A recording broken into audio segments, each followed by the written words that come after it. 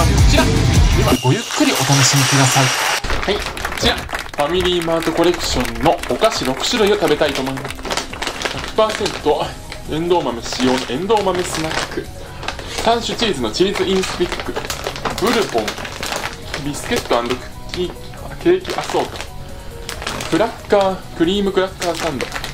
バニミニバタークッキー。ミニアスパラ。アスパラガスってなんか前に動画では紹介してないんですけど職場でもらったことあるんですよね。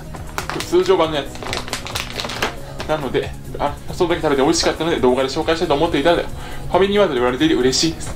でもこのままだと食べづらいですね。でチャンネル登録よろしくお願いします。はいお皿に入れました。これはちょっと多いので後で開きますね。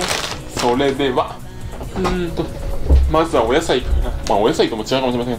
なのでエンドウ豆スナックからいただきます今宵のお菓子パーティーもサクサクと食べ進められて美味しいな。ぁまあ、意外とこれが強烈にくるね。今回の一番のお気に入りは君に決めたよ。一番最初に食べたエンドウ豆スナックはサクサクとした食感のお菓子の中からエンドウ豆のちょっと香ばしめ苦めな風味が広がってきて美味しかったです。さすがにお豆そのものを食べているとこでは言えません言いませんが結構お豆が好きな方にはおすすめできますね。うんお酒とかに合うのかもしれないな。飲めませんけど。でその次に食べたチーズインスティック。こちらは外側の生地にチーズの風味があるだけではなく中のクリームにもしっかり濃厚なチーズの風味があって異なるチーズを楽しむことができて本当に美味しかったです。量がちょっと少ないんですけどね、本当に美味しかったですよ。チーズ好きにはおすすめです。では次。ミニバタークッキー。これはもう割とシンプルな感じでサクサクとしたほど心地よい音が聞こえてくるクッキーでしたね。程よい甘さで美味しかったです。はい続きましてこのミニアスパラガス。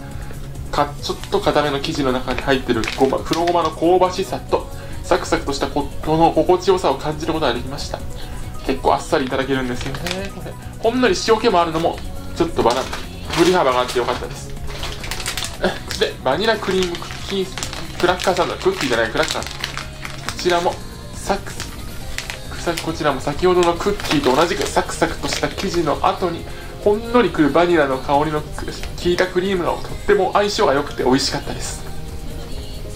バニラクリーム以外でも食べてみたくなるようなクラッカーサンドでしたね。でその次最後に食べたこのブルボンのお菓子アソート。これはまあここにここに使っていきますね。で以前多分紹介したことあると思う。このチョココーヒービスケットはサクサクとした香ばしい味わいの中にコーヒーやチョコのしっかりとした味わいを感じることができて美味しかったです。でバームロールは、まあ、これも割と定番だと思うんですけど中からしっとりとした食感の生地が来るんですがその前に来るホワイトチョコレートの甘さも良かったです。ちょっと酸味があるように感じたんですけど気のせいですかね。でこのミニルマンサクサクとしパリパリとした中の生地がしっかりコーティングされていて本当に心地いい音を奏でてくれました。そしてこれこれは多分デビューしたことないですね。シルベーヌ。のシルベーヌ小さなチョコケーキで噛んだ瞬間に中のスポンジ部分に入ってるであろうチョコが口の中にふわっと広がってきて美味しかったです。外側がちょっと硬めなのも良かったです。でこのしっとりソフトクッキー。これはもう今まで見たことないですね。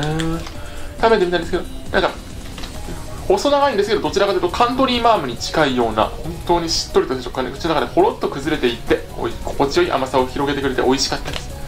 でなのでこの中だとまず袋菓子につきましてはこちらのチーズインスティックを代表として一番美味しかったのでこちらの点数とさせていただきましたでこのブルボンのアソートの中ではこのしっとりソフトクッキーが個人的に一番気に入ったのでこれをこちらの点数とさせていただきます。まあ他のもどれも美味しかったですけどね。さてそれでは夕立よ死を迎えるを恐れるな。いや一体何を恐れているのでしょうか。死は恐れるものですが。ご視聴ありがとうございました。コメントしていただけると、そしてよろしければ他の動画も見ていただけると、動画を拡散していただけると嬉しいです。演武終演。